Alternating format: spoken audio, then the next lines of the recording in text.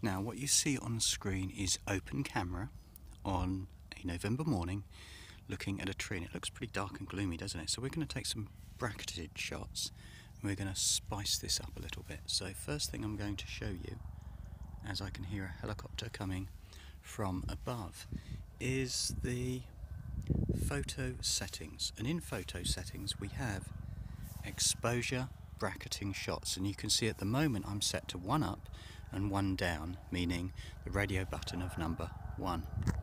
So I'm just going to go back and then this is a following on to Vibrance HDR. The helicopter, I believe it could be an NPAS, is just to my left. You could probably hear it.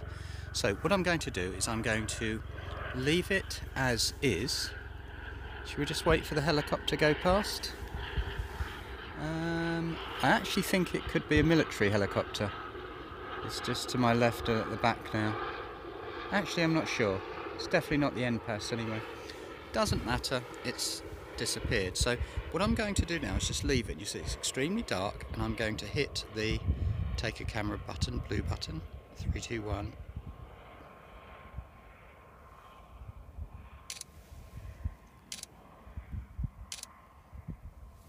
And it's taken.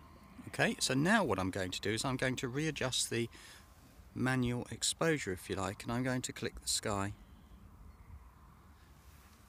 And quite honestly it's made it go even darker. So let's go 3 2 1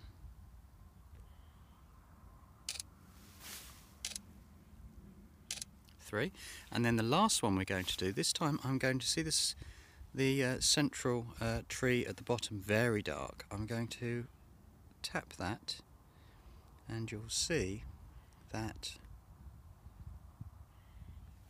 I think we're just slightly behind on the recording at the moment. There we go. So you can see the whole scene has changed now and I'm going to take three of those. Notice I can see bottom left and bottom right. The grass and the field has got a lot more detail.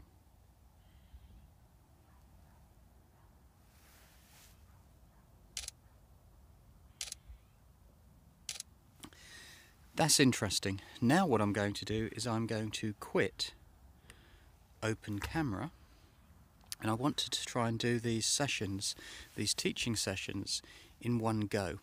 And it makes life a lot better at the back end on post video editing because if I don't need to do any I can make more teaching videos. So I'm going to open recent photos. Okay that's fine and this time I'm going to see the set. It's quite interesting because when you look at these, open recent, in, in fact I'm not going to do that, I'm going to go open photos.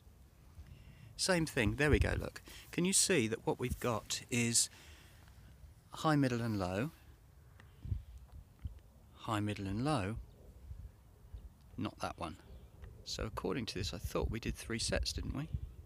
Let's see what happens when we go to press, press and press to select and then open.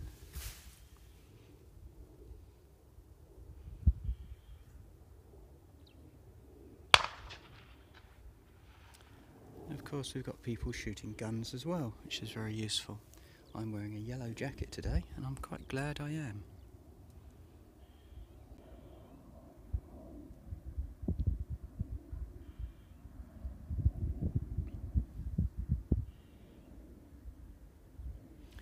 There's our HDR. Press AB to see what it was before and what it was after. Let's go back and just do one more. Then we can go into open photos. That's the three. Let's choose another three down here. Two selected, three selected, and open.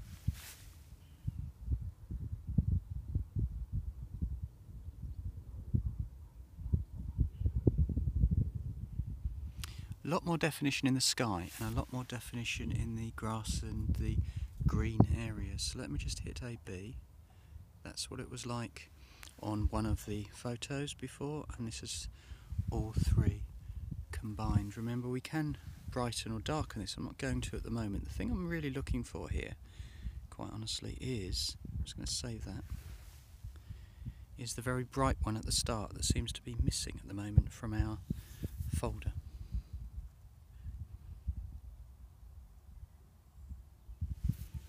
Let's just quit Vibrance HDR.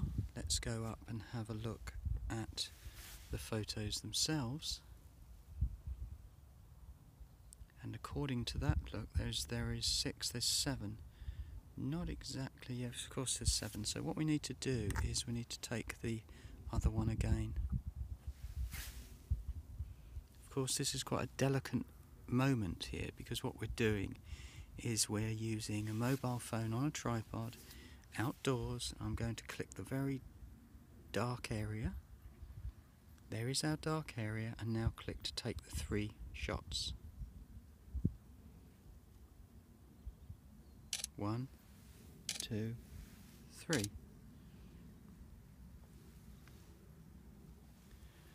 And there's a little dogging scene just coming up. So what we can do now, let the dog just walked past. I'm sure there's an owner as well coming. Let me just pause the video a second. To finish this off then, we're back in open camera, sorry, uh, Vibrance HDR from open camera and we've got our three pictures very much different. We've got a light, a middle and a dark. So let's open that up. Let's see the process and this time we can actually see that we have got evidence of sky and we've got a, quite a lot of texture on the bottom here. Let's see if we can just go in and see a little bit. That's to finish this off. I will save this and that should be the end of taking some photographs bracketed at one stop to do with Vibrance HDR